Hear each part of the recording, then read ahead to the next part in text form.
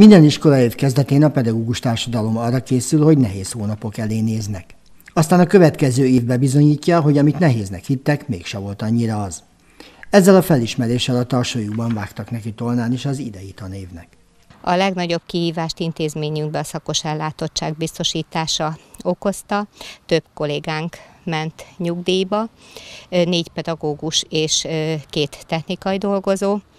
Heten pedig úgy döntöttek, hogy más intézménybe folytatják a munkájukat.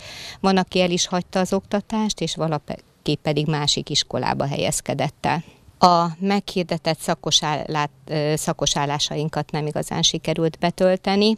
Itt úgy oldottuk meg, hogy megnéztük, hogy a tanítók milyen műveltségterülettel rendelkeznek, és műveltségterületüknek megfelelően felsőbe is feltanítanak, illetve óraadókkal.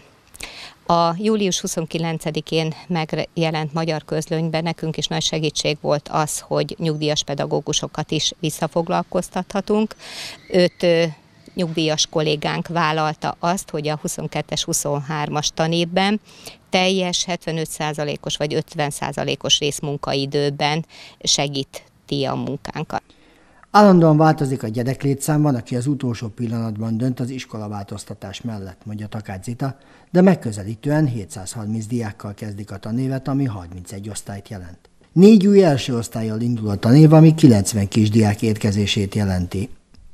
A Vosinszkiban nagy változást jelent, hogy itt kaptak helyet a bezárt mözsi iskolában tanuló diákok is sikeresen megoldottuk a mözsi gyerekek helyzetét is.